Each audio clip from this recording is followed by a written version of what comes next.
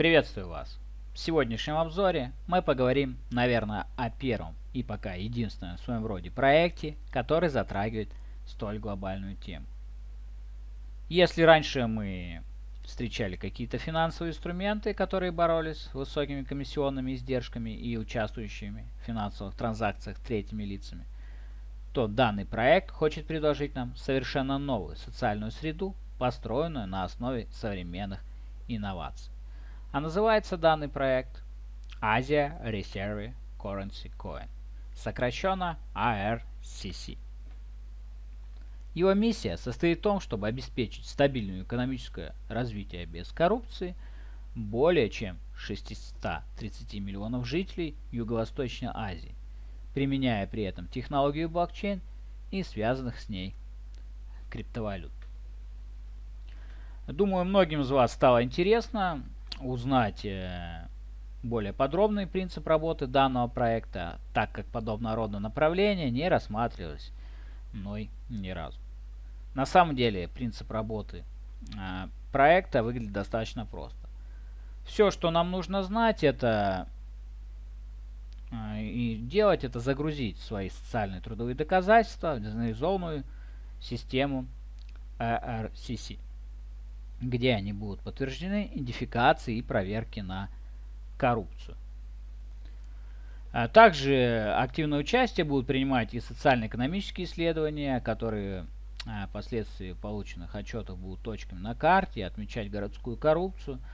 А, разработчики проекта преследуют высокую цель создать развивающийся рынок при помощи социально-экономической модели для бедного населения.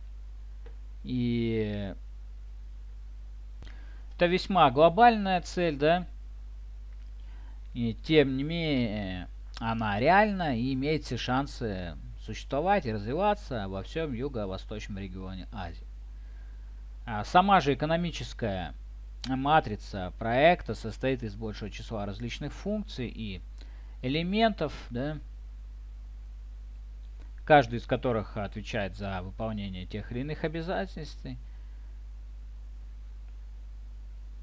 У данного проекта ряд преимуществ, помимо того, что проект будет вести борьбу против коррупции, они также смогут поощрять бедное население за оказанное содействие по загрузке данных в систему. А, то есть любой желающий имеет возможность загружать а, служебные данные или же выявлять географические точки коррупции на карте и получать за это награду в виде внутреннего токена платформ.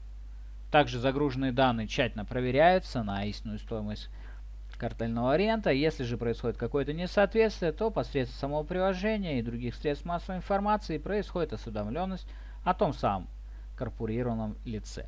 Данный метод намерен стимулировать общественный мандат и поддерживает бедный класс э, жителей. А также э, разработка приложения состоит из трех основных областей, то есть это региональная ID, участие в вопросе и социальная сеть доказательства а, работы. Давайте посмотрим на а, команду и советников проекта. А, как мы видим, это команда проекта. На сайте представлена их биография, вы можете ее изучить. К сожалению, я не вижу ссылочек на какие-то соцсети, да, или что-то еще. Э, где мы можем проверить их профили. Но на сайте очень много информации, их биографии, чем они занимались, в какой области работали, поэтому а, заходите и проверяйте. Также исполнительные команды тоже на сайте представлена информация их биографии. Ну и, конечно же, советники проекта. А, тоже, как мы видим, на сайте они не поленились и написали всю информацию о их а, биографии. И партнеры проекта. Партнеров сейчас не так много, а это Coinhood и Dixcoin, Dixcoin. То есть всего два партнера пока они показали нам. Ну что, тоже имеется. А, также а, давайте проговорим про ICO проекта. У них будет свой токен, который будет поддерживать как бы население, да, бедное население. и обеспечить также криптовалютный резерв. Намеренно не только они, но и децентрализованная экономическая модель IBMR, которая официально зарегистрирована в Сингапуре. Так, оказывается, а, чеканить понятно, команда разработчиков намерена последующие 40 лет, выпуская ежегодно очередную порцию токенов. Этот способ позволит урегулировать мандат денежно-кредитной политики по всему юго-восточному региону Азии. Далее мы видим, как будут распределены токены, да. Э, то есть у нас получается на саму платформу у нас идет 20%, на Bounty и различные партнеры 11,5%, Airdrop 13,5%, на менеджмент 2%, региональные инвестиции 15% и зарезервирован у нас 38%. Здесь у нас более подробно расписано, как будут потрачены.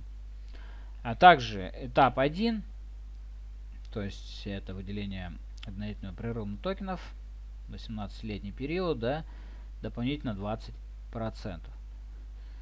Э, получается 55 на инвестиции, 20 зарезервированные, 10 менеджерам, а также за работу 10 и airdrop 5%.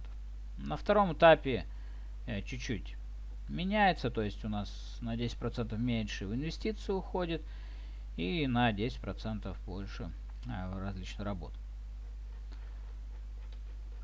Э, то есть проект очень крутой, с очень интересной идеей. Ну, таких идей я реально еще не встречал, поэтому я думаю, что э, проект многих заинтересует и у него будет успех. Я бы советовал вам обратить внимание на него. В описании к видео вы найдете все ссылочки, связанные с проектом, то есть ссылки на их сайт, также на их соцсети, ну и, конечно же, paper. Обязательно изучите его, чтобы разобраться с проектом более детально. На этом я завершаю свой обзор. Всем спасибо за внимание. Ставьте лайки, подписывайтесь на канал. Всем пока.